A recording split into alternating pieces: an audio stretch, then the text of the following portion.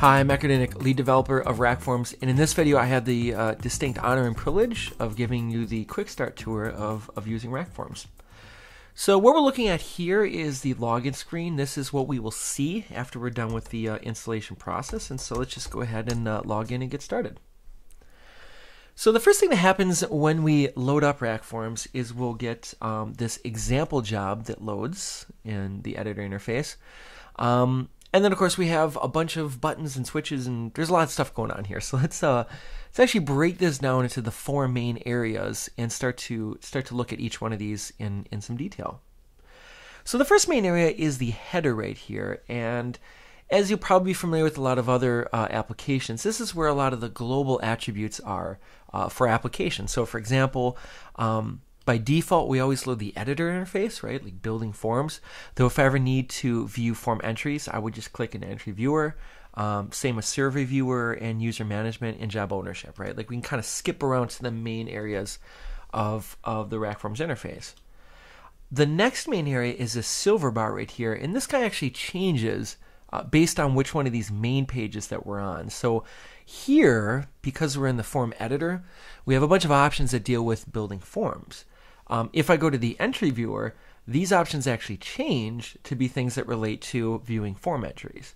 Um, though it is uh, important to mention that all pages have elements in the silver bar. So, for example, user management uh, does not have any special options, so this is blank right here.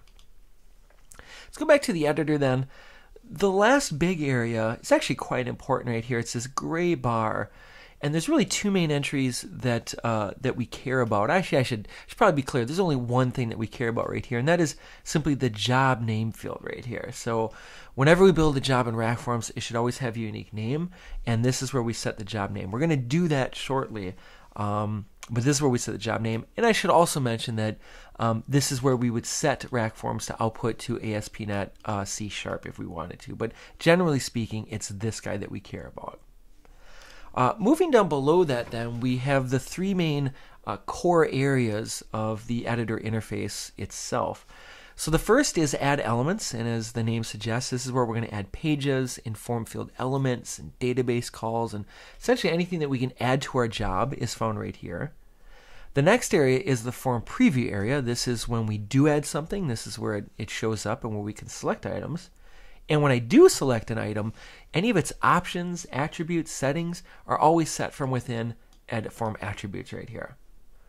Now what's key about this is these two areas, that is edit form attributes and add elements, are what we like to call context sensitive, right? Like they actually change based on what we have selected in the editor.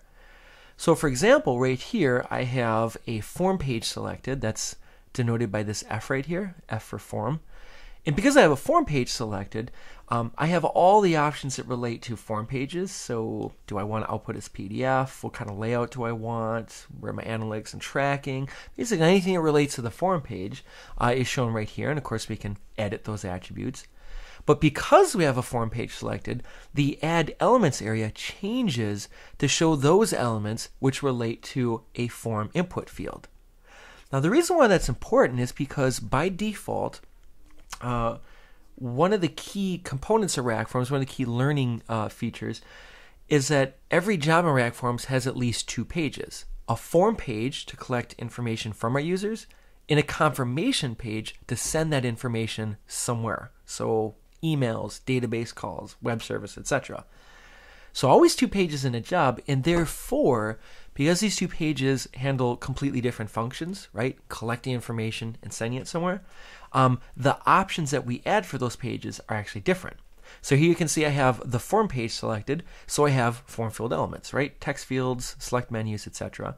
If I select my confirmation page, well, now we actually care about sending data somewhere, so I get my form entry delivery items. And this is where we find email options, SQL, HTTP requests, etc. So, okay, so that's kind of the basic interface. Let's build a job from scratch and just real quickly show you how that's done. So to do so, I'm going to go to my silver bar right here and I'm just going to click create new job. Now there's three things that we want to do whenever we create a new job when we're learning RackForms.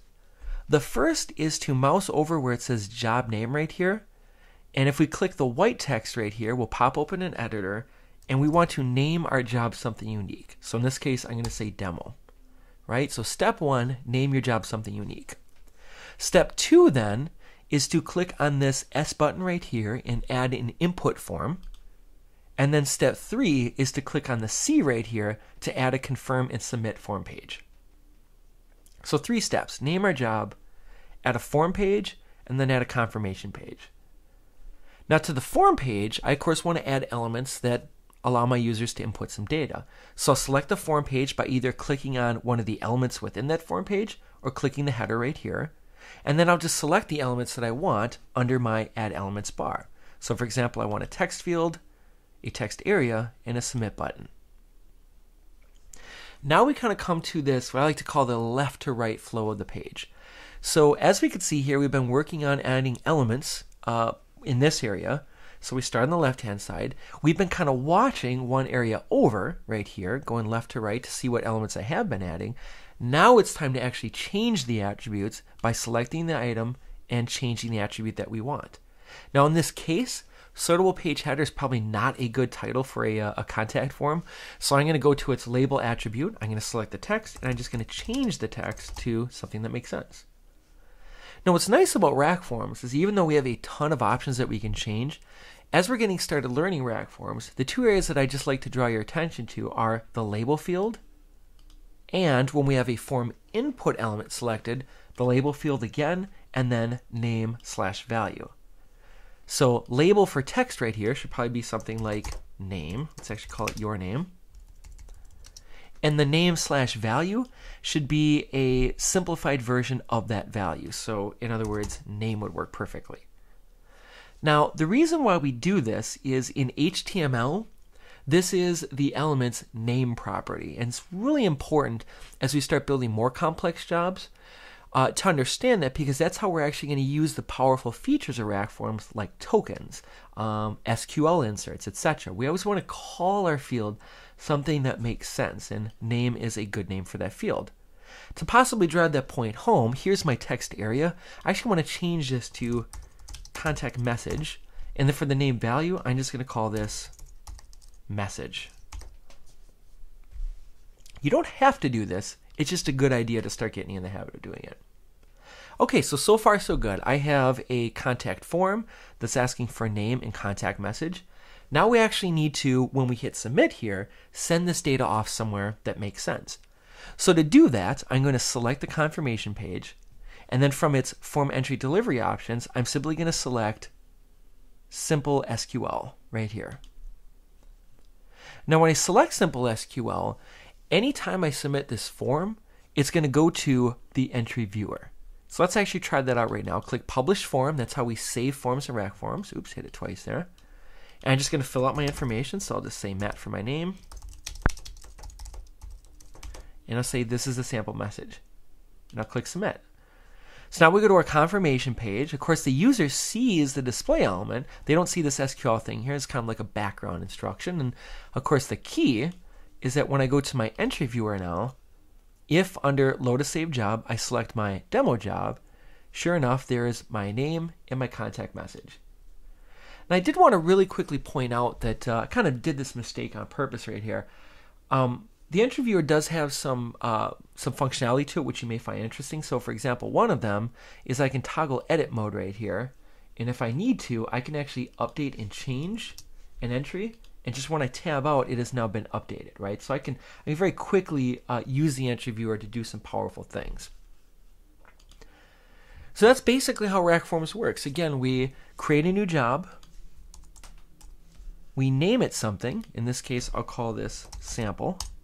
I then add an input page and a confirmation page, and then add field elements to each of those pages as needed. Now, the one thing I wanted to real quick show here is if I load up this demo job, let's say that uh, I want to try some experiments with this job. This is, of course, really common when you're learning a new piece of software. And you got the form the way you want it, but you want to experiment a little bit. So you want to create a copy of the job. To create a copy of a job in RackForms, really simple. All we do is we go back up to the job name. We edit it then with a new name, so demo v2. Click save job name. And now when I click publish form, I've created a copy of that job. So in fact, if I go to load a saved job, I can see I have demo and then demo v2. In other words, to create a copy of a job in RackForms, simply rename the job and save it. Finally, the last thing, uh, things I wanted to uh, to briefly mention are um, the form concierge. Um, definitely take a, a, minute to play around with this. This is how we can actually uh, automate some of the process that we just did by hand right there. So, for example, if I wanted to, I could just use this start from scratch option right here to very quickly create uh, a new job. For in this case, I'll say sample job.